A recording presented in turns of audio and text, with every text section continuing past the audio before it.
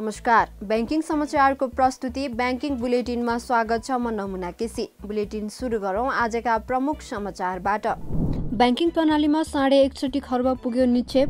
नेपाली लगानीको उत्कृष्ट गन्तव्य हो भन्ने सन्देश विश्व समुदायमा पुर्याउने लगानी सम्मेलनको प्रमुख ध्येय रहेको अर्थमन्त्रीको भनाई। लघुवित्त विरुद्धको सङ्घर्ष समितिले फागुनदेखि वृहत आन्दोलन गर्ने र आज सेयर बजार बढ्यो कारोबार तीन अर्ब माथि।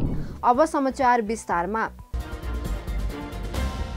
ब्याङ्किङ प्रणालीमा एकै दिन एक अर्ब रुपियाँले निक्षेप वृद्धि भएको छ। नेपाल राष्ट्र ब्याङ्कको तथ्याङ्क अनुसार आइतबारसम्म एकसठी खर्ब उन्चास अर्ब रहेको निक्षेप सोमबारसम्म एकसठी खर्ब पचास अर्ब पुगेको हो। त्यस्तै आइतबारसम्म कर्जा प्रभाव पचास खर्ब बयासी अर्ब रहेकोमा सोमबार पचास खर्ब पचासी अर्ब पुगेको छ। एकै दिनमा कर्जा प्रभाव तीन अर्बले वृद्धि भएको छ।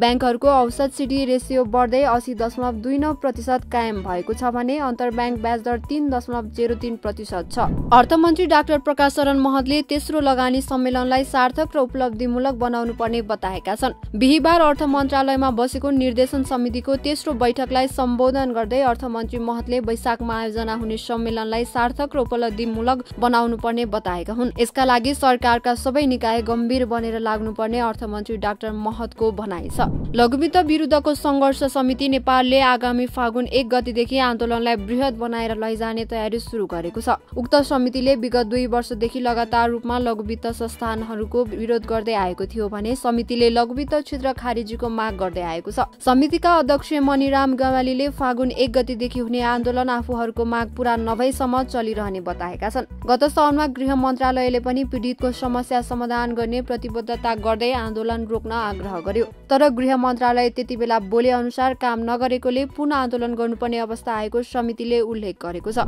कारोबारको अन्तिम दिन बिहिबार सेयर बजार बढेको छ। नेपाल स्टक एक्सचेन्जका अनुसार आज नेप्से पाँच दशमलव सात चार अङ्कले बढेर दुई हजार छयानब्बे दशमलव तीन आठको बिन्दुमा पुगेको छ। तेह्र उपसमूह मध्ये नौवटाको उपसमूहगत सूचक बढेको छ। चारवटाको समूहगत सूचक घटेको छ। अघिल्लो दिन दुई खर्ब चौरासी करोडको कारोबार भएकोमा बिहिबार तीन अर्ब बाह्र करोडको कारोबार भएको छ। आज एकाउन्न लाख एकहत्तर हजार सात सय दस किता सेयर किनमेज भएको छ। हवस् त। आजका लागि ब्याङ्किङ बुलेटिन यति नै। भोलि फेरि वित्तीय क्षेत्रका ताजा अपडेट लिएर आउने नै छौँ। नमस्कार।